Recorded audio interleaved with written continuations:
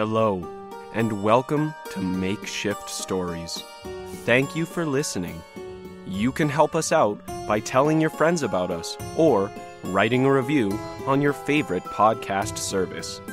Now, open your imagination and take a journey into the improbable as you listen to Makeshift Stories 159 Ken Likeley, Accidental Interdimensional Drifter in Pocket Universe. Read by Mitchell Tew.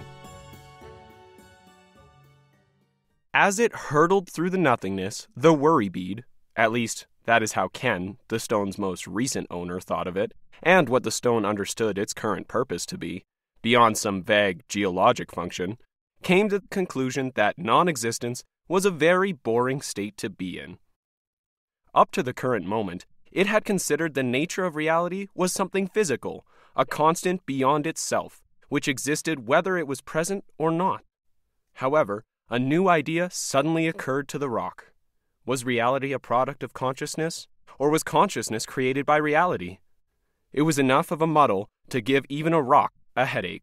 What it knew for certain was at first it had been a piece of limestone strata, which had broken away from a fold mountain through the action of frost, then pushed down some long forgotten stream, tumbling and bumping into stuff, mostly other rocks, until it became a smooth, round, oval shaped stone.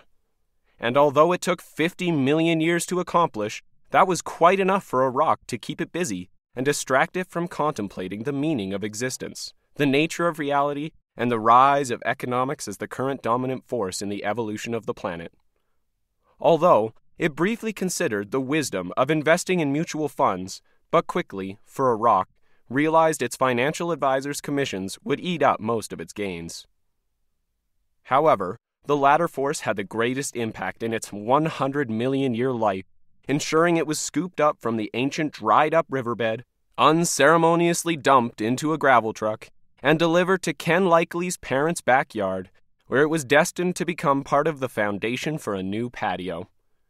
There, a 10 year old Ken took a fancy to it. He liked the feel of its cool, smooth surface and almost perfect oval shape, and plopped it into his housecoat pocket, where it happily stayed for almost an eye blink on the geologic scale of things. Ken rolled it between his fingers every time he was anxious, which was quite frequent before it found itself tossed into a void as a sounding stone, an action provoked by Ken's anxiety and worry. It said to the nothingness, not considering the consequences after all. There was Zippo around it to be concerned with, and it was starting to favor the universe as a mental construct argument anyway. Let there be. Um. It couldn't quite formulate what it was thinking, and quite frankly, this was the first time the stone had attempted to generate anything resembling a thought. Only one idea emerged. Me. Yes. Let there be me. Then Ken's anxiety struck, seeking confirmation. Was me a good idea? Maybe it should have waited for a better concept. Then again, if it had to wait another hundred million years for its next thought, that would be a really, really boring long time. So it settled on me. Yes, let there be me, the stone confirmed to the nothingness. Me being everything which Ken, its former owner, had imprinted on it over the years, plus its own concerns about the next geological period. Yes, it repeated with enthusiasm now that it was getting the hang of thinking and talking. Let there be me. Really. That's what I want. But a residue of resentment from being thrown heartlessly into the void to test the depth of nothingness slid in at the last moment. He should have known, the stone growled, as the universe exploded into existence around it and the stone fell into Leaf Basil's bed of prized chamomile which lined the hippie's backyard fence. Leaf had just put the finishing touches on his new composter when he noticed Planet, his dog and colleague, sniffing at something in the flower bed along the back fence. She seemed way too interested in what was there, like dogs do before they decide to ingest or mark something, which grosses out their human companions. So Leaf decided to intervene. She had been examining a small polished stone, which Leaf recognized immediately and snatched away. Hey, planet, that's Ken's worry bead, or rock, or whatever, man. One powerful talisman, so you gotta be careful. Give it respect. It's not something to mark. Didn't expect it to come back after the man tossed it into the void of nothingness. What do you think is up, man? Planet tilted her head and stared at Leaf. Okay, okay, I get it. I get it already. Nothing looks different, but that's totally surface, man. That rock shouldn't be here. Or maybe it isn't, and we're just. Oh, man, I don't dig where that thought's going. Starts getting into the whole what is real groove. Way too heavy for backyard gardening. And that whole mind bending ontological trip. I don't want to get down with that stuff, Planet. But what do you think? We're in a gnarly mess here? Let's go for a walk and find out. Planet yipped and wagged her tail. Leaf put his tools away and let Planet out the gate. Whoa, man! Some mega awesome lawn service must have come through here last night. All the grass is so. so plastic. There's not even one rogue blade, like, anywhere.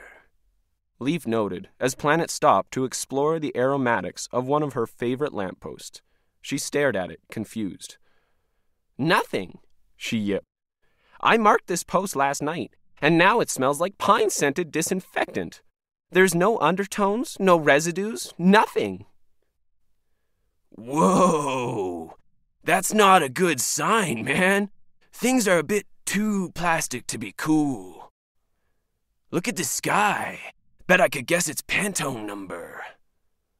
We could check out the convenience store, man, and jaw with a few people to make sure we're not just tripping. Planet and Leaf rubbernecked their way along their usual route. Every hedge was trimmed.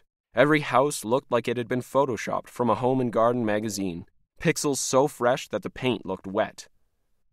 There wasn't even a crack in the roads or the smallest chip in the rounded, tripping hazard reduced curbs.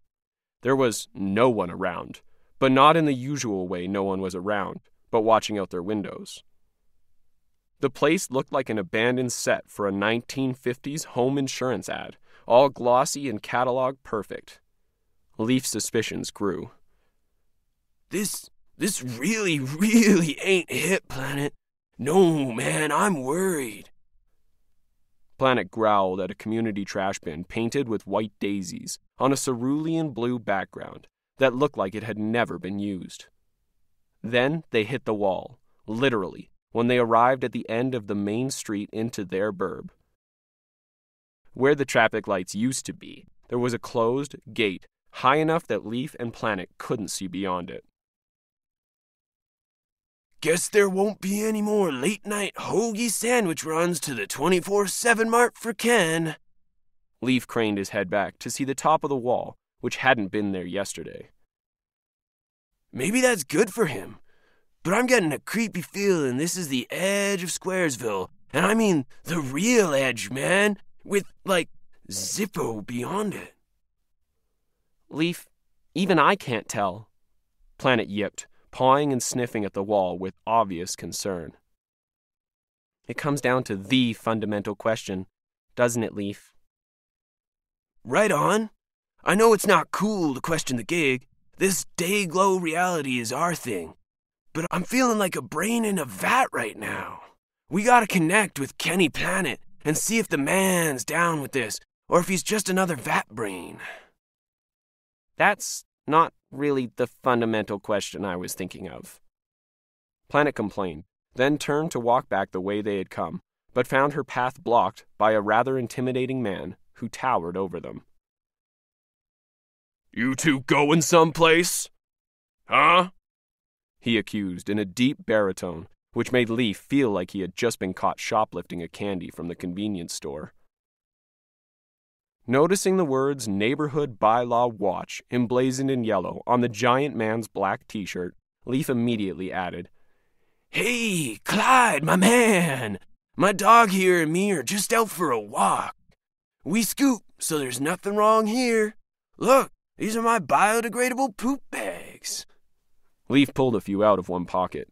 Planet moaned with embarrassment. Destined for the composter, like the bylaw says. Just finished building my own, man. Trying to help the system, you know? Leaf added. The man raised an eyebrow. Where do you live? Whoa, man. No need to go all establishment on us. Just because you got a Renafuzz t shirt on, don't mean you can go all heavy on folks. Leaf pointed out. Planet growled. Yeah, Planet, I agree with you. This Clyde's not hip at all.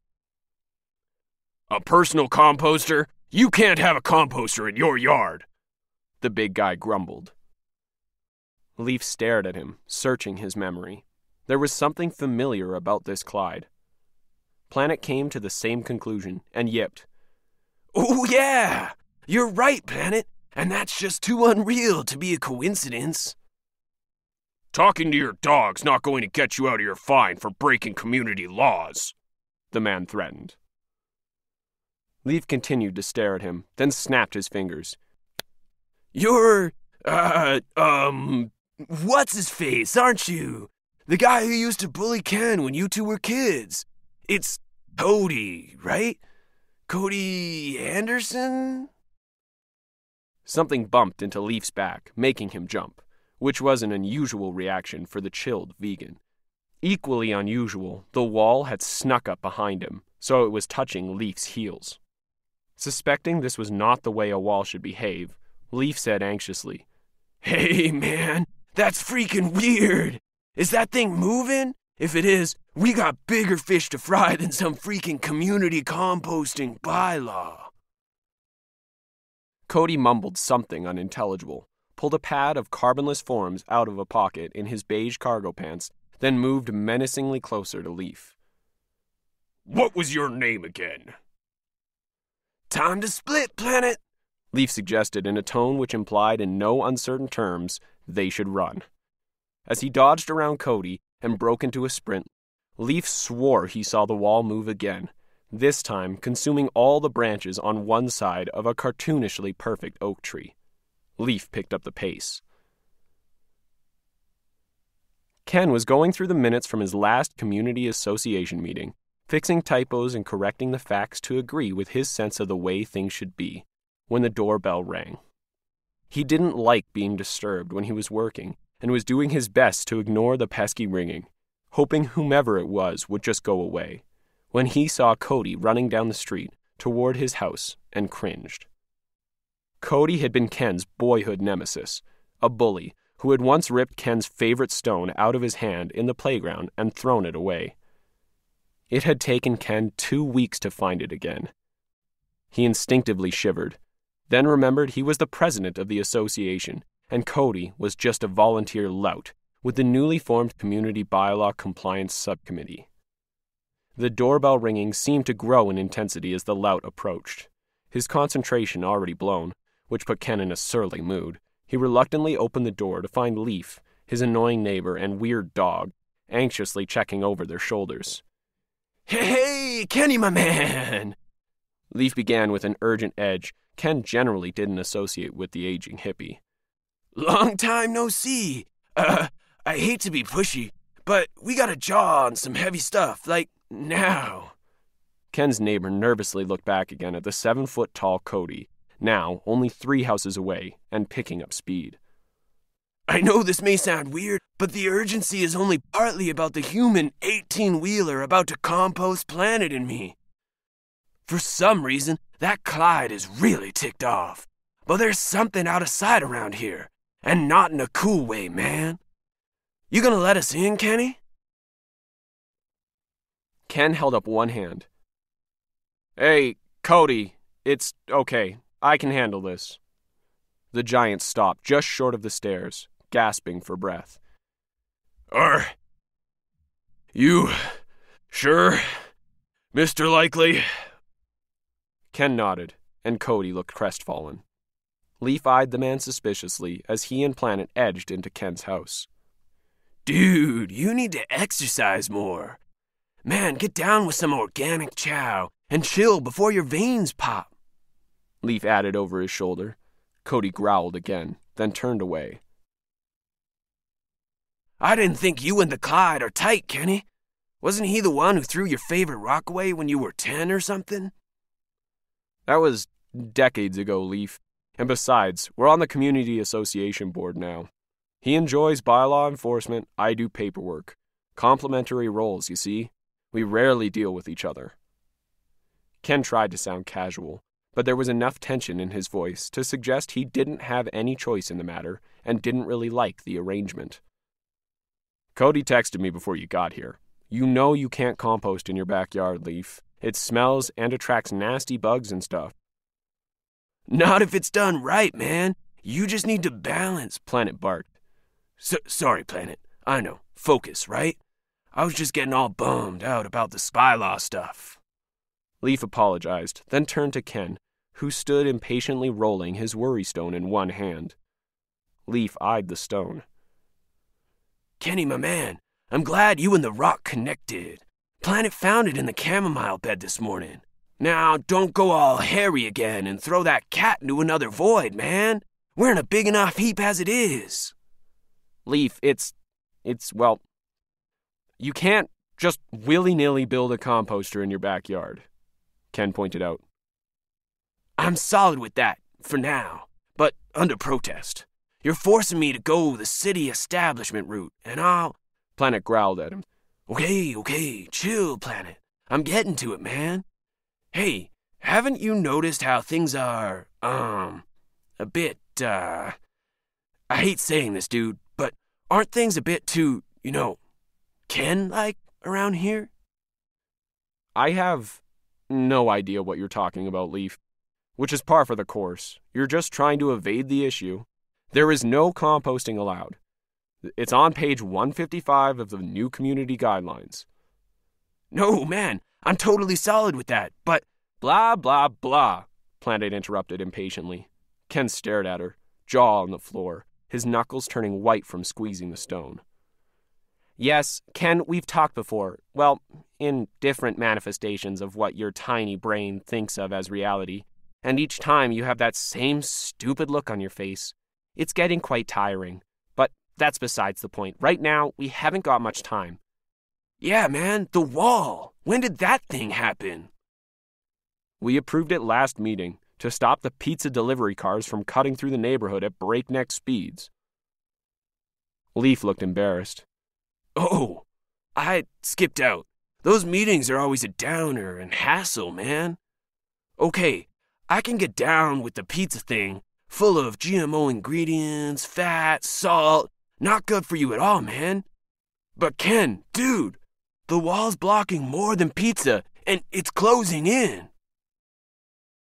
The smaller the perimeter, the easier it is for Cody to patrol. We voted on that too. A couple of deliveries were still getting through, and there were the rabbits too. Rabbits? From the empty lot. They're leaving droppings everywhere. You two, stop! Planet growled. Listen up! Ken, where do you think you are? Uh, here at home? Where else would I be? No, Ken, think bigger. If your ape brain can handle that. Where is here? Planet barked impatiently. Obviously, someplace dogs can talk. Obviously, I'm either hallucinating that I'm talking to a dog, or I'm having a lucid dream, or something. That's a great start, Planet encouraged. Some consider reality to be a dream or an illusion created by our brain to interpret the world. It's a good theory with a long history, goes all the way back to Plato, Aristotle, and more recently, Descartes. So, where do you think we are, Ken? Uh, um. Ken considered for a moment, then shrugged. Okay, I get it. Leaf, when did you become such a great ventriloquist? I'm obviously at home and awake. He thumped the wall with one hand. On terra firma, solving this community's problem and keeping us all safe. You don't hear any pizza delivery cars zooming through the streets anymore, do you? You're just trying to mess with my mind. So I'll forget about your bylaw infringing composter. Nice try, but it won't work. Mellow out and think, Kenny, Leaf suggested. Have you noticed things are. are, well. Okay, man, I'm just gonna lay it on you straight up. This is an ego trip, and it's your ego. Actually, it's the ego stuff you rubbed in that rock of yours. Like there's only four of us here, dude. The only four who've touched the thing. We're its entire universe, man, and that's freaky. There was a loud scraping sound, like something heavy being dragged across concrete. Leaf turned and looked out Ken's open front door. This is a bad scene, man, and it's getting worse. I can see the wall from here now. Ken looked around Leaf and smiled. That's great news. I think we just got rid of the stray cat problem and the threat of Dutch elm disease once all the elms end up on the other side. There's an elm in my front yard, Kenny. Leaf pointed to a large tree almost touching his house. Yup, Ken noted nonchalantly. And if you don't remove your composter, the wall can solve that issue as well. Um, my pad, Ken. Dude, my, my pad will be where everything else we don't want in the neighborhood is, not here. But, Kenny, the other side is Zippo City, right? Ken looked confused. I don't understand. What's this other side you speak of, Leaf? This is everything. He waved his hands around the living room. I'm just doing my job protecting the neighborhood. Like getting rid of. Hmm. What did I say we got rid of recently? Pizza delivery cars? Planet suggested. Pizza what? Ken scratched his head. Planet tugged at Leaf's pant leg to get his attention. Leaf knelt down. What is it? It's his anxiety. It's out of control. It'll turn on everything and eliminate it until all that's left is him. What do we do about it? Planet tilted her head to think. If Ken stopped believing this was real, it might pop this pocket reality. Okay, man. As Leaf stood up, there was another loud scraping sound. He looked out the front window and saw, to his horror, that the wall had consumed the half of his house where the tree had stood. Ken was mumbling something about invasive wildflowers he had spotted the day before, and the wall inched slowly forward, ingesting Leaf's newly planted bed of echinacea. Hey, Kenny, you ever contemplate the nature of the real man? You know, like that Descartes cat? I think, therefore I am. Cogito ergo sum. That kind of thing. It's a whole head trip. The cat meant you can't reduce things further, because you can't doubt the doubt, because you're the dude doing the doubting. Kinda makes you think, right? Like, maybe this is all made up. Can't say I've spent much time thinking about it, Leaf. There's more practical stuff to worry about, like neighbors recklessly planting invasive flower species, or building smelly composters. Composters don't smell, man. Leaf objected, then looked to Planet for support. His logic leaves room for improvement, Planet noted sarcastically. Ken, try this. Imagine that you, or more accurately, the anxiety you've rubbed into that rock, created a reality for itself. What would that look like? Ken stopped rolling the rock in his hand and tried to place it discreetly on the hallway table. Think about it. You toss your favorite rock into the void last week. There's something called the Copenhagen interpretation of quantum mechanics, which more or less states nothing exists until it's observed. So, Think of that void as a wave function, just math, really. And when your rock entered it, your anxieties observed where they were and collapsed the wave from multiple possibilities to a single position, to this place. Yeah, man, Leaf cut in. Ken, dude, this is this is your head trip, man. Yours and the negative ismo anxieties you laid on that rock. Ken shrugged again. Leaf, You're not making any sense, as usual, and, well, I generally make it a rule not to take too much stock in a dog's ruminations on the nature of reality. Did you know you've got mice living under your greenhouse, Ken? We gotta get rid of those things. They carry nasty diseases. Remember the plague?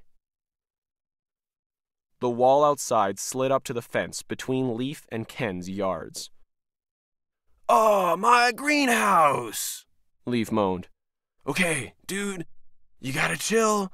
Don't think of any more bummer stuff that makes your head go all creepo. You need to use herbicides, Leaf. Oh, man.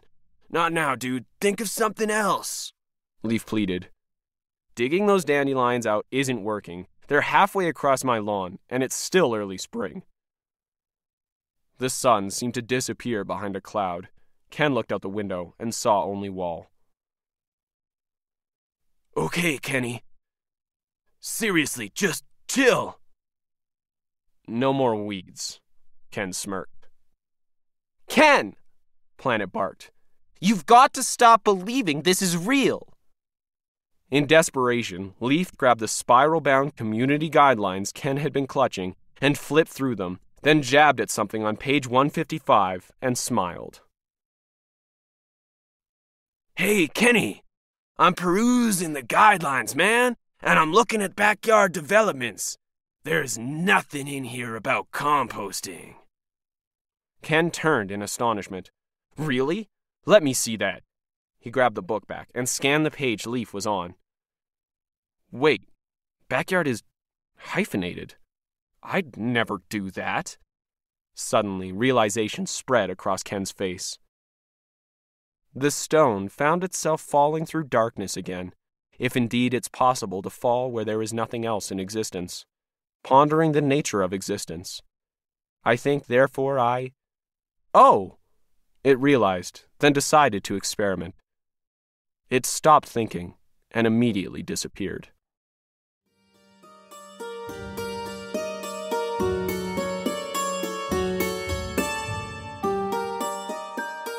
Makeshift Stories is a proud member of the Alberta Podcast Network, powered by ATB Financial. To listen to other great APN podcasts such as Emily Missed Out or Creative Block, please head over to albertapodcastnetwork.com. This episode was brought to you by Park Power, a provider of electricity and natural gas in Alberta that offers low rates, awesome service, and profit sharing with local charities. In Alberta, you get to choose who to buy your energy from. Park Power has low overhead, and chances are you'll save money if you switch. You can find out how much money you would save by visiting parkpower.ca and plugging your numbers into the Alberta Energy Savings Calculator. If you decide to switch, it's easy. Nothing changes about your service, only the price you pay. Learn more at parkpower.ca. Makeshift Stories is released twice a month around the 1st and the 15th. This month's story was written by Alan V. Hare and read by Mitchell Tew. Opening and closing theme, Magical Mystery by 8th Mode Music, is licensed from Audio Jungle on a Music Mass Reproduction license. If you'd like to connect with us, please send an email to makeshiftstories at gmail.com or visit our website at makeshiftstories.com. Links to both are in the show notes. You can help us out by writing a review on Stitcher Radio or Apple Podcasts or any of your favorite podcast services. Makeshift Stories is released under a Creative Commons non commercial attribution no derivative license, which means you are free to share our stories. Just remember to credit us and don't alter anything.